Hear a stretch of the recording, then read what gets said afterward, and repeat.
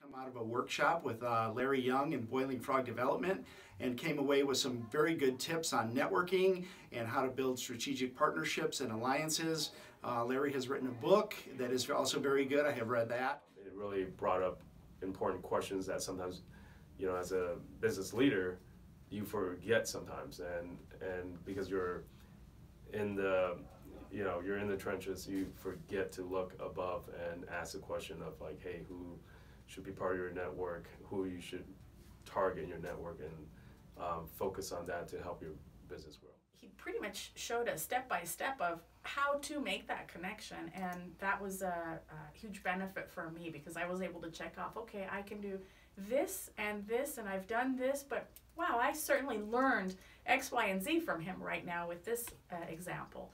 So he's an excellent added benefit um, Absolutely. for it. So for networking. And the other one that I really liked was solve a problem with them. If they have a problem, see if you can help solve it.